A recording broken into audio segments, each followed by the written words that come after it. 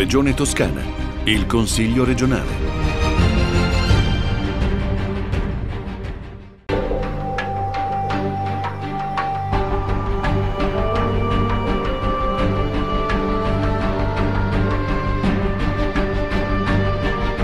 In Consiglio regionale si è svolta la cerimonia del premio per tesi di laurea 2022 promosso e organizzato dalla Fondazione Gianfranco Salvini sul tema della neuroriabilitazione. Il concorso ha premiato tesi del 2022 con contenuti innovativi discusse per conseguire la specializzazione in medicina fisica e riabilitazione in una facoltà situata sul territorio italiano. Il concorso è stato organizzato dalla Fondazione Gianfranco Salvini, istituita dalla Clinica di Riabilitazione Toscana nel 2019, con l'obiettivo di promuovere, finanziare e condurre in ambito nazionale e internazionale attività di studio e ricerca scientifica,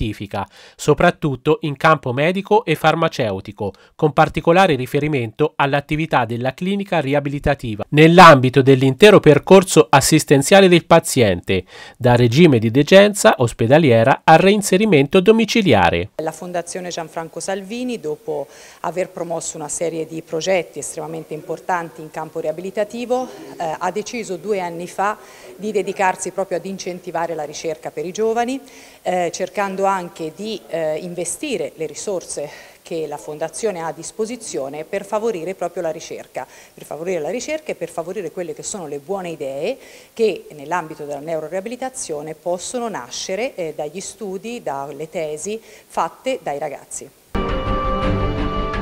centro ricerche della clinica di riabilitazione toscana eh, appunto ha da sempre una collaborazione con la fondazione Gianfranco Salvini, abbiamo ricevuto finanziamenti nell'ambito della nostra attività di ricerca di tipo traslazionale, quindi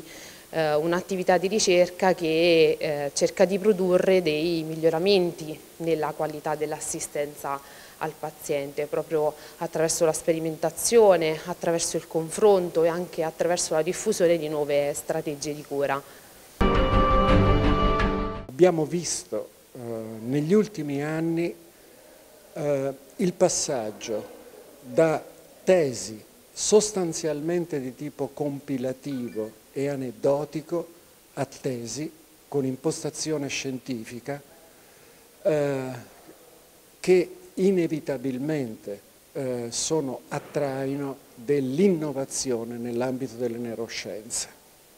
All'evento hanno partecipato il consigliere Lucia De Robertis e il presidente della Commissione Sanità Enrico Sostegni, evidenziando l'importanza di sostenere la ricerca in campo medico e la bontà della collaborazione fra pubblico e privato con la clinica di riabilitazione toscana, che non solo offre assistenza altamente qualificata a casi complessi, ma genera ricerca, sviluppo, innovazione scientifica a beneficio di tutto il sistema sanitario toscano e nazionale nazionale. Sì, è un, un, connubio direi che vorremmo festeggiare tutti i giorni, significa che eh, abbiamo centrato l'obiettivo quello di creare un, una cultura eh, dopo di noi, no? dopo le persone che in questo momento si stanno impegnando in questo eh, ambito davvero importante della neuroreabilitazione, eh, significa investire sui giovani, significa fargli comprendere che le istituzioni sono vicine a loro. Io ho accolto con favore eh, la richiesta dell'ingegner Boncompagni di, di essere presente qua come, come con la Fondazione perché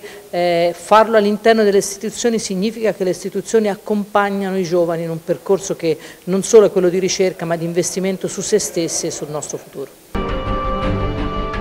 Noi sappiamo che i, i luoghi dove la cura funziona meglio e dove la ricerca eh, si sviluppa e dove si riesce a trasferire sulla parte clinica l'attività eh, e i risultati della ricerca. Allora, eh, la fondazione in questo caso fa questo, premia quei ragazzi che hanno fatto ricerca, quelle persone che hanno fatto ricerca e che sono riusciti a trasferire parte di questa ricerca sull'attività, in questo caso di riabilitazione. Quindi una finalità assolutamente in linea con quelle che sono della regione tutta e in genere del mantenimento e anzi dell'elevazione del sistema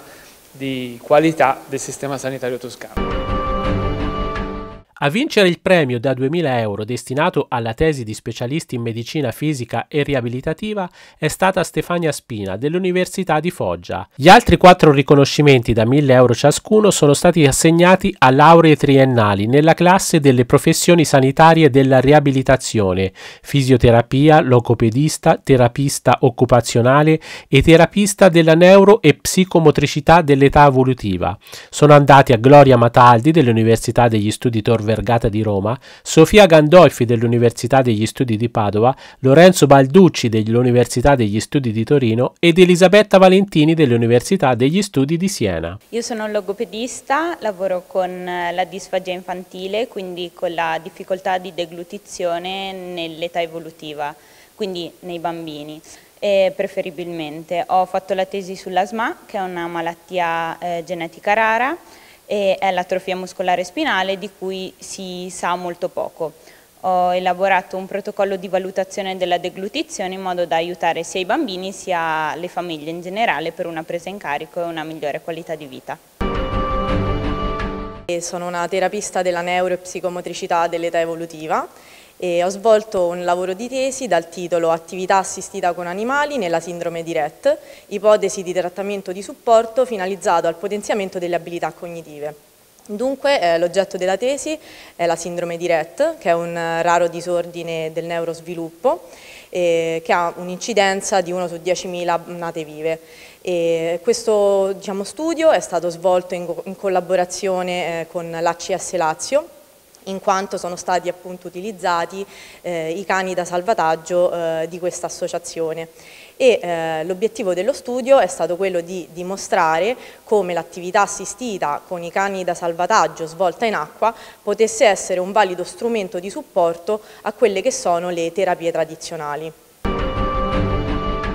una fisioterapista e lavoro presso il reparto di neuroriabilitazione dell'ospedale della Gruccia, più precisamente con le gravi cerebrolesioni acquisite. Um, la mia tesi della, della laurea triennale ha riguardato l'utilizzo di realtà aumentata um, nei pazienti con stroke presso l'unità um, di stroke unit delle scotte di Siena. E con questa tesi ho utilizzato un visore Microsoft HoloLens che permetteva di aggiungere degli ologrammi alla realtà circostante e con questo studio sono riuscita a dimostrare eh, come una migliore partecipazione attiva del paziente all'interno del proprio eh, percorso di recupero favorisse non solo un miglior recupero motorio ma anche una riduzione dei tempi di ricovero. Sono un fisioterapista, lavoro presso l'ASL 5 in una, in una riabilitazione di secondo livello mi occupo prevalentemente del trattamento di pazienti con patologie neurologiche e la mia tesi aveva come obiettivo quella di individuare, di verificare la fattibilità e la sicurezza dell'utilizzo di stimolazioni uditive ritmiche nel trattamento di persone con malattia di Parkinson in un contesto però di teleriabilitazione, dato la recente pandemia da Covid-19 e dato il fatto che la letteratura ultimamente sta spingendo molto sull'utilizzo di tecniche di trattamento hands off rispetto a quelle invece che richiedono il tocco terapeutico. Uh, medico fisiatra, lavoro a Foggia, attualmente ho una borsa di dottorato con l'Università di Foggia la struttura complessa appunto di medicina fisica e riabilitativa. La tesi che mi ha portato poi alla vittoria di questo premio riguarda l'utilizzo di una tecnologia a base di sensori inerziali applicata alla valutazione del paziente con ictus. Quello che ho fatto è stato appunto aggiungere questa tecnologia alla valutazione di, questo, di, questi pazienti e ci ha permesso di avere dei dati in più per valutare una di quelle attività eh, più frequenti della vita quotidiana che è appunto il turning, la capacità di girare del paziente e questi sensori appunto ci hanno dato dei dati in più per valutare fattori di rischio, di caduta e altro e ci hanno permesso appunto di avere un follow up eh, del paziente migliore. È stata presentata in Consiglio regionale la campagna di Frates Toscana Donare sangue, la ricetta della felicità. L'iniziativa rivolge un invito a donare sangue con l'obiettivo di aumentare la squadra dei volontari ed è promossa durante queste settimane attraverso tutte le farmacie della regione che per sostenere la campagna e dare visibilità alla raccolta del sangue consegnano le medicine in sacchetti di carta rigorosamente targati Frates Toscana, così da raggiungere con il messaggio il maggior numero di potenziali donatori possibile. Frates Toscana oggi conta 12 consigli territoriali, 285 gruppi e oltre 1000 volontari e nel 2022 ha registrato oltre 62.000 donazioni, garantite da un gruppo di 40.000 donatori. Durante la conferenza stampa sono però emerse anche le preoccupazioni del presidente dell'Associazione Toscana per il calo di donazioni di sangue registrato durante l'ultimo anno. La Toscana è una terra che non si è mai voltata dall'altra parte, ossia eh, i suoi cittadini. Credo però sia importante ancora di più in questo momento mandare un messaggio forte insieme a Fratres, eh, dire che donare sangue vuol dire donare vita e chiedere a ognuno dei cittadini della Toscana che può farlo di fare la propria parte. È importante, è importante ancora di più in questo tempo e credo che le istituzioni debbano avere anche il compito di sensibilizzare, di sensibilizzare in questa direzione. Questa è l'idea che abbiamo voluto mettere in campo per il 2023 e reduci da altre esperienze negli anni scorsi con altri tipi di, di promozione di questo tipo abbiamo voluto tentare sulle farmacie, cioè in questi luoghi che comunque sono eh, frequentati da, da, da, numerosissime persone, molte delle quali magari anche sensibili a questo argomento che è la carenza appunto del sangue, come abbiamo registrato soprattutto nell'anno 2022. E quindi nell'intento di cercare di eh, prevenire quello che l'anno scorso è stato una, un brutto momento per la grossa carenza delle donazioni, Ecco che abbiamo messo in campo da, da, da, qualche giorno a questa parte questa nuova campagna. In senso generale la Toscana ha perso circa il 4,5% delle donazioni globalmente la Toscana. Noi come Fratres siamo riusciti a mantenere la perdita all'1,87%, comunque ecco, in termini numerici per noi sono circa 1200 donazioni sulle 63.000 che di norma facciamo,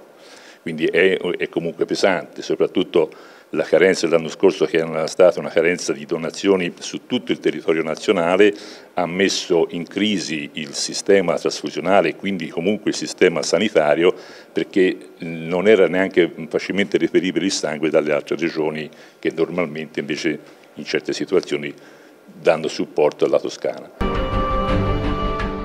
E allora ecco, questa iniziativa di Fratres oggi è un'iniziativa fondamentale perché eh, appunto la Fratres come le altre associazioni hanno un ruolo di andare a cercare i donatori, a parlare con ognuno di noi, con i ragazzi più giovani anche in vista delle future donazioni, con le famiglie, con le scuole, per far capire anche con piccoli gesti, anche quando si compra il pane, anche quando appunto si va in farmacia ora a comprare un farmaco, ricordarsi poi che con un piccolo gesto si può aiutare le persone quando eh, stanno male, il sistema sanitario a funzionare, la produzione di farmaci importanti per la salute di tutti noi. Quindi veramente è una scelta che ognuno di noi ha e che le associazioni ci ricordano di poter fare e che serve a tutto il sistema sanitario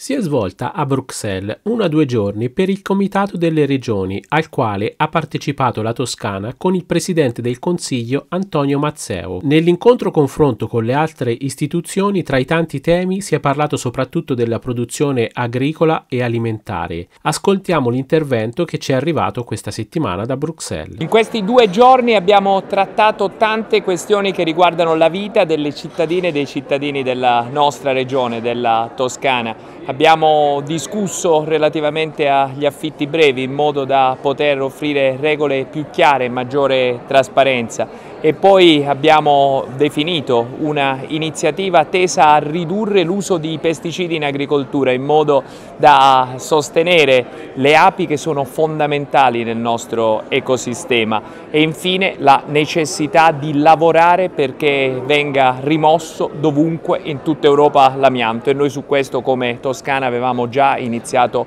a lavorare con un'apposita legge regionale. Infine l'impegno che mi prendo, e questo per una regione come la nostra è fondamentale, fondamentale è che nella prossima sessione plenaria si discuta eh, e si dica che siamo contrari all'etichetta sanitaria sui vini proposti dall'Irlanda. Siamo contrari perché questo è un modo sostanzialmente per toccare il nostro tessuto produttivo, la qualità delle nostre produzioni e credo che ognuno di noi debba fare una battaglia perché resti anche in questo caso dalla parte giusta della, della storia, quella a sostegno di chi produce e di chi investe sui nostri territori.